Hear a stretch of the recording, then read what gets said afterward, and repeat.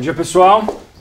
Hoje é Dia Internacional da Mulher, então um bom dia especial para Joana. Uma salva de palmas para Joana.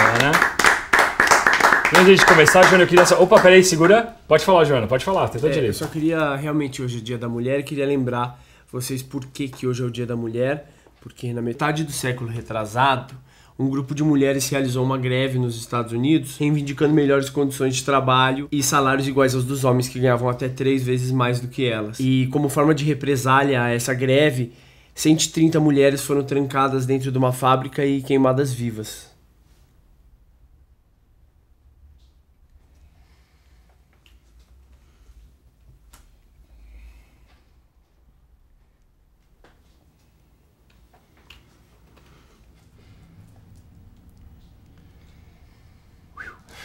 Que isso é século retrasado, já não é mais. É engraçado, chefe, porque estamos no século XXI e eu exerço a mesma função do Ricardo e ele ainda ganha mais do que eu.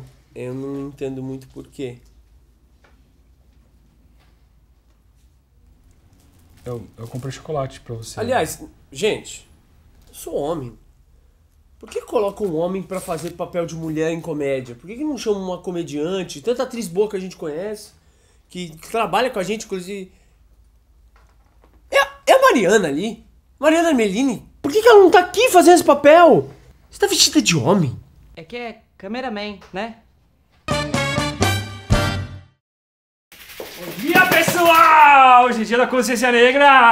Né? Né? E... Não é assim que eles fazem lá, não?